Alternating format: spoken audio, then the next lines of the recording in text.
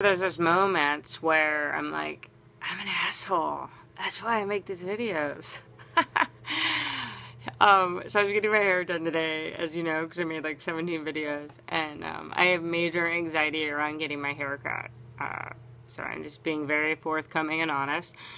Change scares me. I don't do well with change. I dealt with trauma as a kid, and so I cling and I hold on to things. Don't change.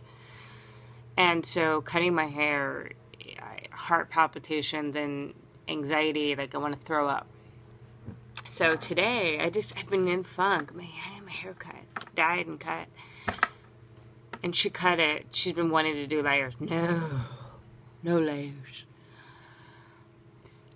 And you know, I just had this moment, do it, right? So she did it, and I, um, I felt depressed after, and I felt, um, I panicked, and why did I do that? Um, I'm ugly now. Why didn't I trust myself? I should have left it. I should have not changed, you know. Anyway, I caught myself, and I thought, it's fucking hair. It's hair. It's hair. You're being an asshole. It's hair. It grows. You have hair you're at a salon and it costs like a stupid amount of money to like get your hair cut and dyed. This is the whole point of the don't be an asshole thing. So I caught myself. Yes, I'm human. Yes, I can go, oh, and have a moment and then let it go. It's hair. It's hair. It was a play in the 70s. It was a movie.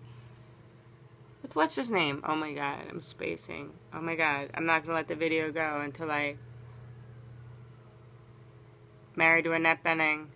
Oh my god. Hey, Rob?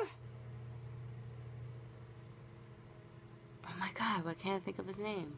Robert!